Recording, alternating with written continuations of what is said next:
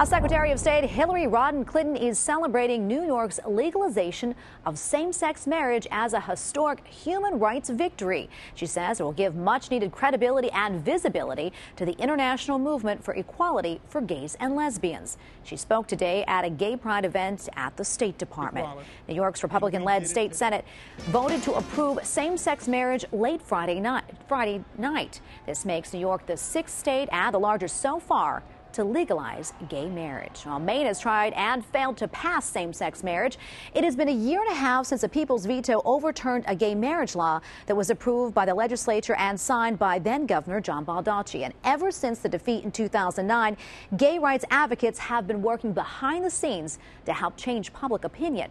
With New York's success, they say this could be the best time to bring back the issue. News 8's Jim Keithley is here now with more on that story. New at 6. Jim? Well, Tracy, gay marriage was overturned in 2009 by 32,000 votes. Gay rights advocates have been fanning out into rural areas where they lost to try to change the opinions of those who did not support gay marriage. Equality Maine is the organization behind the push, says a citizens initiative could be coming to the ballot box sooner rather than later. They were literally dancing in the streets of New York on Friday after the governor signed a marriage equality bill into law. Gay marriage supporters here in Maine say the New York victory is so symbolic it could have an enormous impact in other states that are grappling with the same sex marriage issue. So I do believe we are changing hearts and minds on this issue. Equality Maine is busy changing opinions. Ever since the crushing defeat in November 2009, they vowed on the steps of City Hall to stay the course. Marriage equality will come to Maine, they said, and it could come during the 2012 election in the form of a citizens' initiative.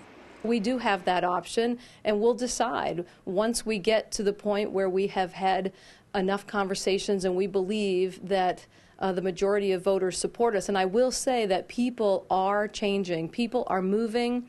People are changing their minds on this issue. Not so fast, says Brian Souchet, who was a member of Stand for Marriage Maine, the group that helped defeat gay marriage law in Maine. He says New York's win doesn't necessarily mean a Maine win will follow. Keep in mind that the New York vote, once again, was a vote by the legislature. It was not a vote by the people. And if put to a people's vote, I think the outcome would be uh, very different.